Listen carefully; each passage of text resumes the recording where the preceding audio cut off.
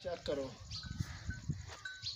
ਮਾਸ਼ਾਅੱਲਾ ਮਾਸ਼ਾਅੱਲਾ। ਤੀਸਰੇ ਸੂਬੇ ਮੈਂ ਜੇ ਮਾਸ਼ਾਅੱਲਾ ਮਾਸ਼ਾਅੱਲਾ। ਸਾਰੀ ਮੂਵੀ ਚੈੱਕ ਕਰਾਵੇ ਭਾਈ ਭਰਾਣ ਮਾਈ ਦਾ ਸ਼ੌਕ ਪੂਰਾ ਕਰਾ।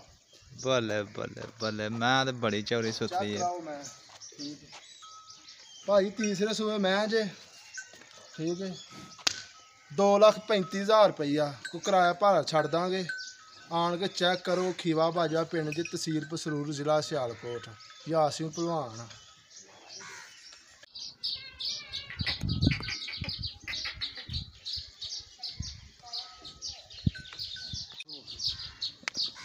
ਤੋਰ ਗਾਣ ਮੜੀ ਜੀ।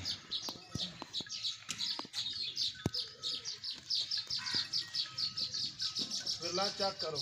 ਐ ਕਿੰਨੇ ਕੁ ਦਿਨ ਲੈਂਦੀ ਹੈ ਭਾਈ? ਭਾਜੀ ਦਿਨ 7 ਤੋਂ 8 ਲਏਗੀ। ਮਾਸ਼ਾਅੱਲਾ ਮਾਸ਼ਾ ਸੂਬੇ ਭਾਜੀ 18 ਕਿਲੋ ਦੁੱਧ ਕਰਦੀ ਰਹੀ ਹੈ ਠੀਕ ਹੈ ਜਿਹੜੇ ਲੋਕੀ ਜਾਂਦੇ ਨੇ 22 ਕਿਲੋ ਕਰਦੀ ਹੈ 23 ਕਿਲੋ ਕਰਦੇ ਨੇ ਸਭ ਝੂਠ ਹੈ ਠੀਕ ਹੈ 22 23 ਕਿਲੋ ਦੁੱਧ ਮੱਝ ਦੁੱਧ ਨਹੀਂ ਕਰਦੀ 15 ਤੋਂ 16 ਕਿਲੋ ਮੱਝ ਦੁੱਧ ਦਿੰਦੀ ਹੈ ਠੀਕ ਹੈ ਇੰਨਾ ਹੀ ਮੱਝਾਂ ਦੁੱਧ ਦਿੰਦੀਆਂ ਲੋਕੀ ਝੂਠ ਮਾਰਦੇ ਨੇ।